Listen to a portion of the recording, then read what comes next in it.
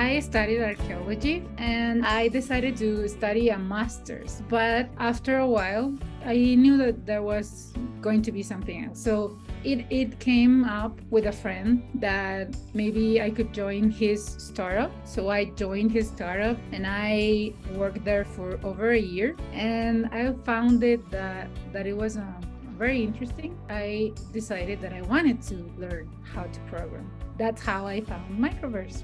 Another friend from Microverse was working with this company and he said, Hey, do you want to be a Shopify developer? Because I can refer you. I interviewed with them. I got in into this company. All of my uh, jobs were offered to me. So that's why I encourage you to meet a lot of people. I think building a strong network is super important.